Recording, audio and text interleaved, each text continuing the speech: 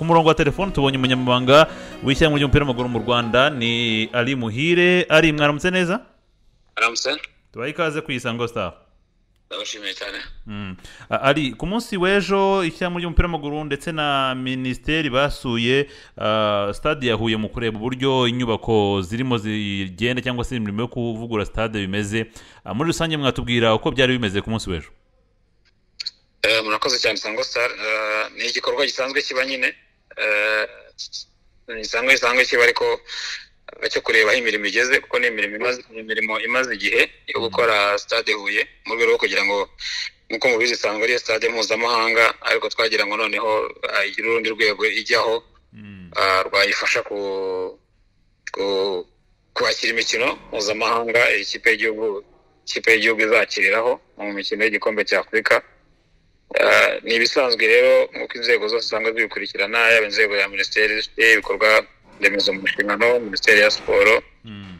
ferwafa n'izindi nzego bireba intara y'amajyepfo akarere ka huye twarimo turebera hamwe ah, ni inshuro dukora kenshi mu cyumweru ngira ngo n'ejo ubundi mu kindi cyumweru tuzasubirayo tuba turi kureba mu by'ukuri imirimo ikomeye yihutirwa aho igeze ah, kandi kugeza ubu iratanga icyizere dukurikije uko abayobozi bayibonye natwe twabibonye tukabona yuko bitanga icyizere cy'uko imirimo izarangira mu gihe cya vuba. Ubundi iyo mirimo ya ngombwa iri gukorwa kuri stade ya huye ni iyihe sg Ah, imirimo ya ngombwa cyane ni iyo gusana cyangwa se no gushyira ku rwego rwisumbuyeho ah, ahakira abantu ah, cya hambere hakomeye ni ahanyu abanyakubahwa abanyamakuru kureba uburyo abanyamakuru bashobora gukorera ahantu hisanzuye. Mm. ah, banabafasha mu by'ukuri mu buryo kugira ngo batare kandi banatangaza amakuru yabo Mm. ah, bisanze ariko bafite n'ubushobozi yaba uburyo bwa interineti yaba uburyo bwo kubona amashanyarazi ah, yaba uburyo bareba umupira Ah, hakazaho nanone icyiciro cy'aho abafana bicara Mm.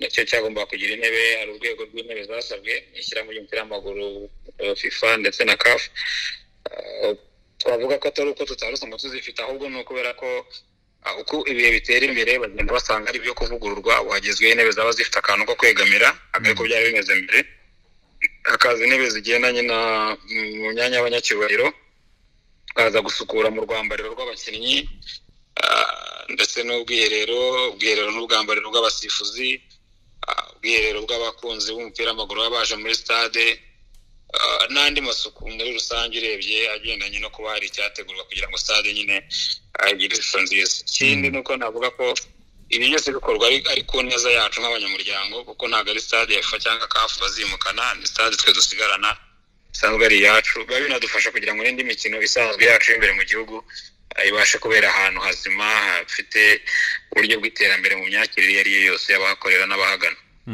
Hari amakuru dufite ko hari umwe mu ba- mu bantu ba fifa bazaza kureba iyi stade urwego iriho ndetse no kwakira imikino ibyo ari byo ya ni ibisanzwe ni nk'uko nyine natwe twagiyeyo urumva hari- abubaka hari ababaha akazi ari izo nzego navuze hejuru hanyuma natwe turi kubikora hari abatugenzura ntabwo ari ubwa mbere baje si ubwa kabiri ni abatugenzura kugira ngo barebe niba koko badufashe kureba niba turi mu murongo w'ibisabwa kuko ku- kubaka gusana ni kimwe ariko hari ubwo ushobora kuba wagiye hanze y'umurongo wemewe.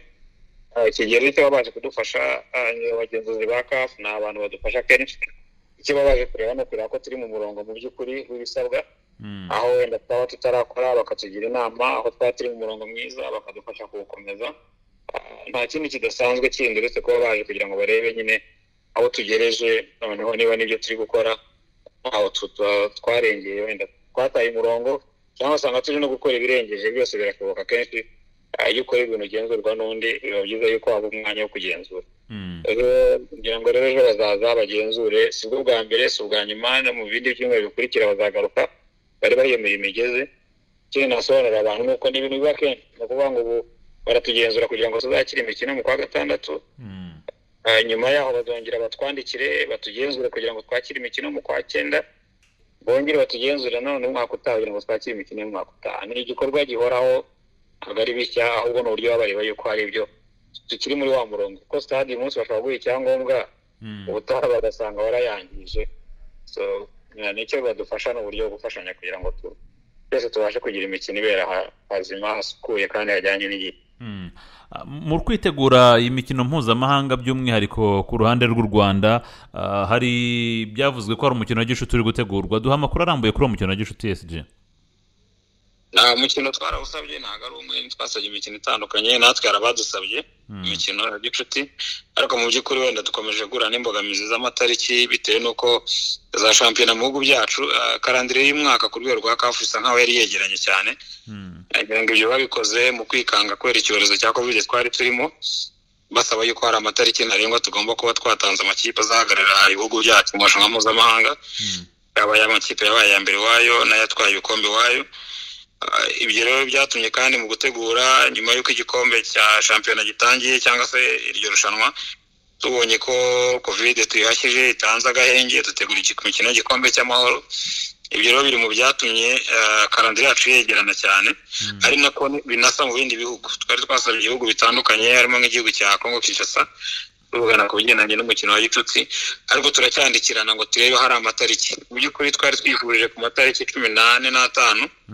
Ariko haza kubaho ikibazo cy'uko ari hano mu rwanda tuzaba dufite umukino ngira ngo ukomeye hagati ya aperi na kiyovu niba ntibeshye. Yego. Iwabo nabo ikipe ya tubisa amaze mu itariki cumi n'eshatu izaba ifite umukino ukomeye. Kimwe no mu bindi bihugu aha dukikijwe ibihugu bi- bituranye by'inshuti zacu twarimo tugenda dushaka imikino. Ah, kugeza ubu turacyategereje kureba ngira ngo ubutumwa buheruka bwari ubw'ejo nimugoroba kugira ngo barebe niba hagati ya cumi n'umunani kugera kuri makumyabiri na rimwe eh, hari aho dushobora kubona dushyira uwo mukino. Ni byo turi kurebaho hagati yacu n'ayo mashyirahamwe bagenzi bacu. Tureba hatworohera kuko ari twebwe umukino turawukeneye ari bo barawukeneye amakipe menshi ntabwo aheruka kuba yagira imikino yabafasha kwitegura eh, irushanwa ry'igikombe cya afurika. Ntabwo muremeza aho wabera? Ati twari twasabye kubera hano mu rwanda eh, i kigali eh, kugeza ubu niyo niyo gahunda ihari. Iramutse ubaye naho wabera. Hanyuma esg ku bijyanye no kwitegura uyu mukino hari amakuru avuga ko umutoza carlos ferra ndetse na jacinta ah, bagomba kongerwamo abandi by'umwihariko ngo bungirije abanyarwanda. Ayo makuru yo ahagaze gute? Nibyo bagomba kongererwamo abatoza bandi eh, biri mu masezerano twagiranye ngira ngo igihe yafataga amasezerano yatwemereye ko yazana umutoza umwungirije hanyuma ariko abandi akagenda areba niyo mpamvu mubona areba shampiyona buriya areba shampiyona ntareba abakinnyi gusa areba imitoreze areba abatoza hari benshi ngira ngo afite ibiro hano agenda atumira bakaganira nawe. Hari n'abo bose agenda basaba bamwe n'impapuro zabo z'akazi cyangwa se z'ubumenyi bafite. Ah, ni kuri we rero ku giti cye kugira ngo azahitemo abashobora kumwumva abashobora kugendana na sisiteme yo gukina cyangwa se imitoreze ye. Bibaza ko mu gihe cya vuba baraza kutumenyesha. Abo yahisemo tubatangaze turebe niba koko ah, bakwiriye. Hanyuma natwe tuvugane nabo mu bijyanye n'amasezerano kuko kubahitamo ni kimwe ariko noneho n'amasezerano y'akazi ni ikindi. Hanyuma icyo gihe bakaba babasha kujya ku mirimo. Ah, hanyuma esiji tugana ku musozo mu minsi ishize muherutse kugana ku mugabane burayi ndetse no hirya no hino ku isi mu kureba abakinnyi b'abanyarwanda bashobora kuzifashisha mu iri imbere. Ah, ku mugoroba w'ejo twabonye umuhungu wa fritz emeran nkusi ukinira manchester united yongera amasezerano y'imyaka ine muri manchester united. Ah, uwo nawe n'umwe umwe mwaba cyangwa mwaregereye ah, mu kuba yazaza gukinira u rwanda ese kongera amasezerano kuri we mwabyakiriye mute nka federasiyo twe kwakingera amasezerano kuri we kuri twebwe ni ibyishimo. Ngira ngo dusangiye nawe nk'ishyirahamwe ry'umupira w'amaguru biradushimisha Ah, ni umuhungu uyu munsi utarakina ikipe y'igihugu ariko umubyeyi we isi yatanze umusanzu ufatika ku ikipe y'igihugu y'u rwanda. Ah, twizera tudashidikanya ko mu biganiro bimaze igihe ntabwo ari ibitangiye ari uko ejo bundi tugiye kuri uwo mugabane uko bivugaga bimaze igihe mu buryo bwo kureba ko yakinira ikipe y'igihugu y'u rwanda. Uh, twebwe rero twabyishimiye turamwifuriza ibyiza byinshi ayo masezerano y'imyaka ine yongereye aneje akongera ayandi cyangwa yabona n'andi yisumbuyeho. Nk'uko tunabyifuriza buri mwana w'umunyarwanda aho ari hose ku isi kimwe n'abakina hano imbere mu gihugu kuba bagira amasezerano abafasha kuzamura urwego rwabo. Uh, kuba rero ashobora kuza gukina ikipe y'igihugu uh, ni ibiganiro twakoze cyangwa se byagiye bikorwa kugira ngo barebe niba ashobora kuza koko bivana nanone n'ubushake kuko ntabwo ari ukuba gusa bihagije ko umubyeyi akina ikipe y'igihugu cyangwa se babishaka hari ibiganiro byagiye biba nk'uko wari bivuze icyo twakoze twe ni ukwegera ababyeyi cyane cyane ko abanyeshuri abakinnyi benshi baracyafite ababahagarariye ari bo babyeyi babo bwa mbere nibo twabanje kuganira tubabwira ko ari ikaze mu gihugu mu ishyirahamwe ry'umupira w'amaguru mu rwanda mu ikipe y'igihugu ah, kuba baza kuyikinira. Ibikurikira rero ngira ngo hafi ya bose cyangwa se benshi baratwemereye abenshi ni abatari bafite amakuru mu by'ukuri niba koko bashobora kuza niba babyemerewe ikindi buri mukinnyi kimwe na buri wese aba ateganya kureba imbere heza wari ushobora kuba yifuza ko igihugu kindi afite ubwenegihugu ashobora kugikinira bitewe n'aho areba kigeze bitewe n'aho n'icyo areba cyamufasha mu kazoza ke cyangwa se imbere he mu buzima bwe busanzwe bw'umupira w'amaguru. Benshi rero baratwemereye ngira ngo kontakiti zirahari amazina arahari umutoza arabakurikirana agenda ari mu biganiro nabo. Kutwemerera ni kimwe kuzahamagarwa ni ikindi kuko ibyo biri mu nshingano za ekipi tekinike ariko nahumuriza abanyarwanda babwira ko abana babo benshi abana b'igihugu bifuriza gukinira igihugu kandi mu kigaragara bafite umusanzu munini batanga igihe cyose baramuka bitabajwe. Bivuze ko nowamu emerani nawe ari ku rutonde cyangwa se hari n'icyizere ko yakinira u rwanda? No hari icyizere si umukino w'ejo cyangwa w'ejo bundi hari icyizere cy'uko ari uwakina u rwanda ariko nk'uko nabivuze n'ibiganiro n'amahitamo ubwo rero guhitamo kwa muntu sinahagarara ngo mwemeze ibizaba uko biri kose ntibizaba ari ibanga igihe cyose azaba yahisemo u rwanda nk'igihugu nawe yiyumvamo tuzishimira kumwakira. Esiji murakoze cyane ku mwanya muduhaye mugire umunsi mwiza.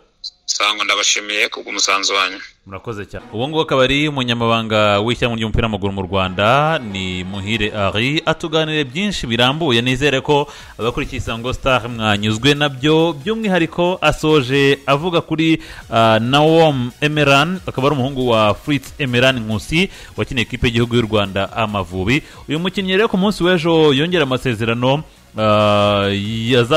azamugeza muri bibiri na makumyabiri na kane. Ubwo bitewe n'ayo yari afite wongeyeho n'andi ubwo ni imyaka ibiri iri imbere. Ariko kuri uyu mukinnyi bivuze yuko kandi ashobora no kuzongerwa undi mwaka umwe muri ekipe ya united.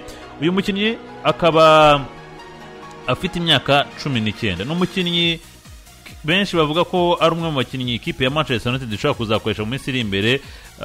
Emeran kuko urebye uburyo arimo aragaragara cyangwa se arimo arigaragaza muri ekipe ya united kuko nka manchester united nk'ikipe izwi ku rwego mpuzamahanga ntabwo yaha amasezerano umukinnyi ubona yuko atazayifasha mu minsi iri imbere. Nawo emerani rero ubwo ni ugutegereza tukareba yuko azafasha u rwanda mu minsi iri imbere ndetse kandi n'ibiganiro wumva ko bisa nk'aho bigeze ku rwego rwiza n'ikipe na, na papa we cyangwa se n'umuryango we muri rusange. Nawo emerani rero akaba amazina yakora ni nawomi furitsi emeran yavutse itariki makumyabiri n'enye z'ukwezi kwa cyenda bibiri na kabiri afite imyaka cumi n'icyenda. Akaba yaravukiye mu gihugu cy'ubufaransa.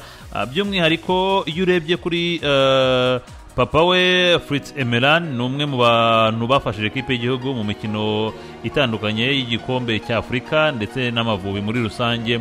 Uyu mukinnyi rero ubwo ni ugutegereza tukareba yuko u rwanda rwamubona ariko aramutse abonetse kimwe n'abandi byaba ari byiza cyane. Kadenesi reka nawe tukushimire cyane kuko utweretse yuko udukurikiye kandi uti waperura yihana reka tubitegereze reka tubashimire mwese twabanye mu kiganiro isango morning sport yo kuri uyu munsi. Siporo nagaruka ku mugoroba turaza kongera guhura. Reka tubashimire mwese. Genari habin imani isaac reka mbabwire nti umunsi mwiza kuri mwese imana ibarinde.